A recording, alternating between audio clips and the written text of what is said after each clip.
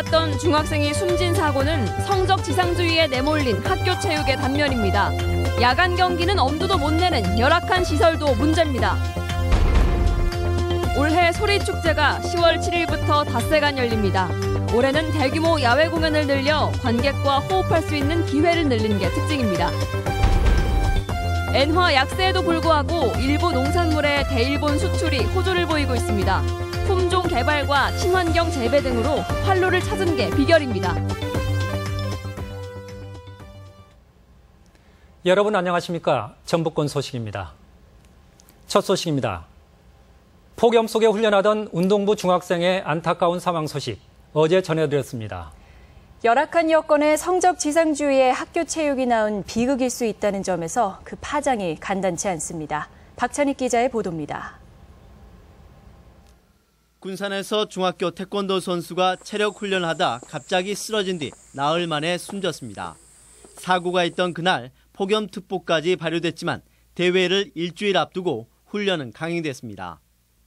이 대회가 원래는 6월 22, 23일 날 개최가 될 예정이었는데 그때 이제 정부로부터 그 메르스 때문에 태권도부 정식 창단을 염두하고 해당 코치가 무리하게 성적을 올리려 한 거 아니냐는 축축도 나오고 있습니다. 하지만 체육계에서는 이번 사고에 보다 근본적인 원인이 있다고 지적합니다. 각종 대회가 춥고 무더운 방학 기간에 집중된다는 점을 원인으로 들고 있습니다. 학기 중에 경기 개최하는 것을 좀 자제시키고 주말이라든가 방학 기간을 이용해서 경기를 하다 보니까 불가피하게 대회에 맞춰 연습이나 훈련을 해야 돼 사고가 항상 뒤따를 수밖에 없는 게 현실입니다. 실제로 최근 전주에서 열린 사이클 학생 대회만 봐도 사고 위험이 높은 줄 알면서도 뼈아뼈에서 경기를 치러야 했습니다. 기온이 조금이라도 떨어지는 야간에 경기를 하려 해도 경기장에 조명 시설이 전혀 갖춰져 있지 않기 때문입니다. 야구나 축구 등 야외에서 하는 종목들은 대부분 비슷한 실정입니다. 시설이 잘 돼 있어도 학교실이기 때문에 거기에 또 전기세가 많이 나오고 나올 거 아닙니까? 그러면 이제 학교 측이 더 싫어하고 그리고 또 그러다 보면 너무 늦은 시간까지 해버리면 애들도 귀가 시간도 늦어지고 성적 위주의 스포츠 문화, 열악한 시설과 교육당국의 지원이 스포츠 꿈나무들을 사고 위험으로 내몰고 있습니다. MBC 뉴스 박찬익입니다. 국회의원 선거구 획정 논의가 비례대표 확대와 인구 편차 기준으로 논란 중입니다. 하지만 어떤 기준을 적용해도 도내 국회의원 수는 줄어들 가능성이 높아 찬반 선택이 그리 쉽지 않습니다. 고차원 기자입니다. 인구 편차 기준만을 고려한 헌법재판소 결정에 따른다면 전북의 지역구는 현재 11석에서 3석가량 줄어들 수도 있습니다. 하지만 선관위 소속 선거구 획정위원회가 개최한 공청회에서는 헌재 결정이 농어촌 붕괴를 가속화할 것이란 우려가 제기됐습니다. 인구가 상대적으로 적은 그 농어촌 지역구가 많이 줄어들게 될 텐데 그렇게 되면 농어촌을 대표할 수 있는 의원들이 많이 줄어들어서 농어촌 발전에도 지장이 좀 있다고. 문제는 농어촌 지역의 대표성을 유지하려면 의원 수가 늘어나는 것에 있습니다. 정치권은 국민 감정을 이유로 의원 수 확대에 반대하고 있지만 공청회에서는 의원 수 확대가 정치 발전에 도움이 될 것이란 의견이 제시됐습니다. 지역구 의석을 줄이기는 어려우니까 아, 의원 정수 확대가 필요하다고 보고 뭐 정치학자, 헌법학자 대부분의 학자들이 의원 정수 확대가 필요하다고 보고 또 시민단체도 그렇게 생각하고 정치 불신을 감안할 때 의원 정수 확대가 쉽진 않겠지만 정치 발전과 지방 농어촌의 대표성을 위해서는 국민을 설득할 필요가 있다는 것입니다. 의원수 확대를 정치권이 나서서 반대하는 것에 대해서는 기득권과 특권 의식을 지키려는 속셈이라는 날선 비난도 쏟아졌습니다. 선거구 획정위는 공청회 의견에 더해 정당 간 의견을 들은 뒤 본격적인 선거구 획정 논의를 진행해 오는 10월 초 국회에 최종안을 제출할 예정입니다. MBC 뉴스 고차원입니다. 인사청탁을 대가로 금품을 받은 혐의로 기소된 순창군수 부인에 대한 법원의 첫 심리가 진행됐습니다. 오늘 오후 전주지법 남원 지원에서 열린 재판에서 순창군수 부인 권모 씨는 지난 2013년 공무원 채용을 대가로 2천만 원을 받은 적이 없다며 혐의를 부인했습니다.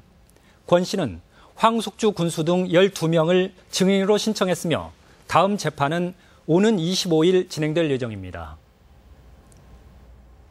누구나 소리를 즐길 수 있게 하겠다는 14년 전의 초심. 오늘 확정 발표된 프로그램을 통해 전주 세계 소리 축제를 미리 들여다봅니다. 김하연 기자가 보도합니다.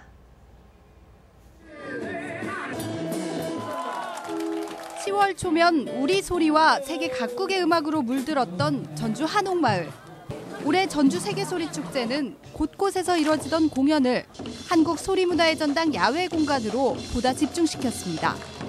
야외 공연장을 축제 기간인 닷새 내내 가동해 대규모 공연을 펼치고 이를 부담 없는 가격에 접할 수 있도록 이른바 만 원의 행복 이벤트도 선보일 예정입니다.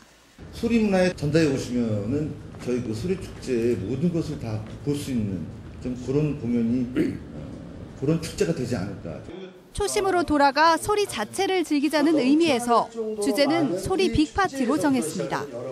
개막 공연은 흥보가를 주제로 전북의 소리꾼과 예술인 160여 명이 한데 모이는 대규모 공연으로 시선을 잡아끌 예정입니다. 한 소리 갖고 저렇게 재밌게 저렇게 많은 사람들이 모여서 공연을 할 수가 있구나라는 걸 꼭 보여주고 싶고요.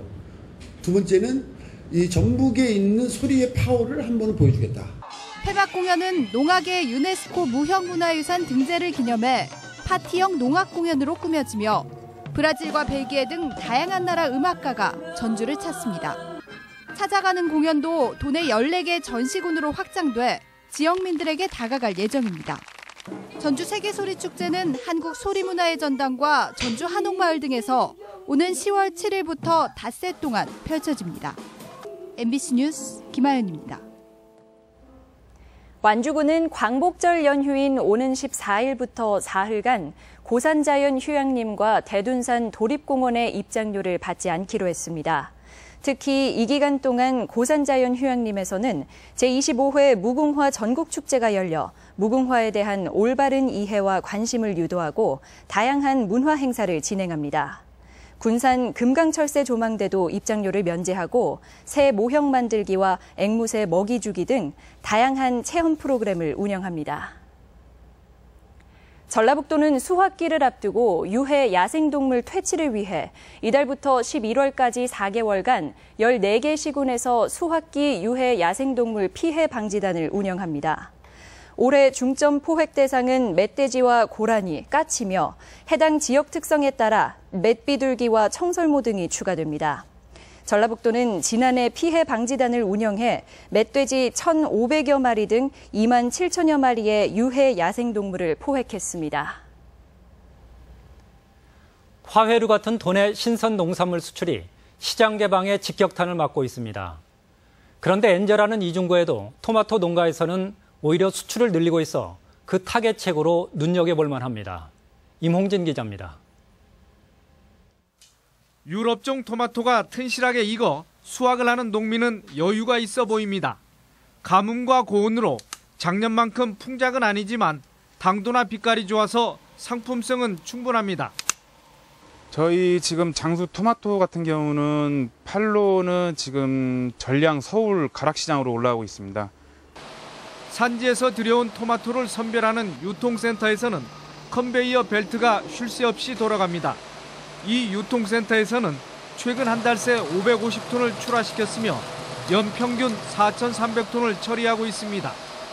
엔저의 영향으로 올 일본 수출이 크게 우려됐지만 오히려 전라북도의 대일본 토마토 수출은 54만 8천 달러로 지난해보다 3배가량 증가했습니다. 다양한 품종 개발과 친환경 양액 재배로 고급화한 것이 비결이었습니다. 농가들이 어느 지역보다 토마토 재배 기술이 상당히 발달돼 있어요. 85kg에서 100kg 정도 나오고 있습니다. 반면에 파프리카나 화요류에서는 올 수출이 지난해보다 절반 이하로 감소하는 등 엔저의 직격탄을 맞은 상황. 어려움 속에서도 수출 증가세를 이어가는 토마토의 사례가 농산물 시장의 체계적인 대응 전략의 필요성을 보여주고 있습니다. MBC 뉴스 임홍진입니다.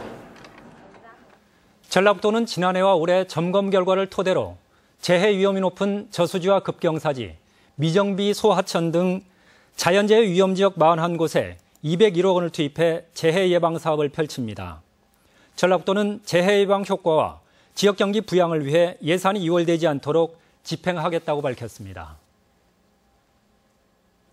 오늘 오전 9시 반쯤 군산시 삼북동 91번 송전 철탑 공사 현장에서 한전의 철탑 공사를 저지하던 주민 30여 명 중 88살 조모 씨 등 6명이 부상해 병원으로 옮겨져 치료를 받고 있습니다. 반대 대책위는 한전 측 관계자 80여 명을 집단 폭행 혐의로 고발할 것을 검토하고 있어 대립이 심화할 것으로 예상됩니다. 오늘의 간추린 소식 전해드립니다. 전주시는 오는 10월까지 전주푸드 시범 매장을 우선 개설한 뒤 평화동과 우화동, 송천동, 혁신도시 등 4개 권역으로 확대할 계획이라고 밝혔습니다. 전주푸드는 완주 로컬푸드와 같은 방식으로 전주 지역 농산물을 공급 판매하는 사업입니다.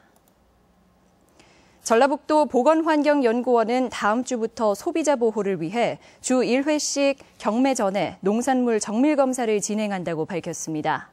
경매전 잔류 농약 검사는 전주 익산, 정읍 공영 도매시장 출하 농산물을 대상으로 합니다. 전북 복지국가 소사이어티는 일자리와 보육, 교육, 주거 등 5대 민생 불안 해소를 위해 다양한 정책을 개발하기로 했습니다. 전북권 뉴스였습니다.